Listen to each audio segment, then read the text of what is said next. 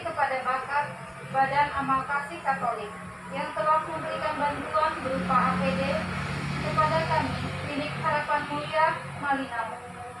Semoga amal kasih ini menjadi berkat bagi sesama.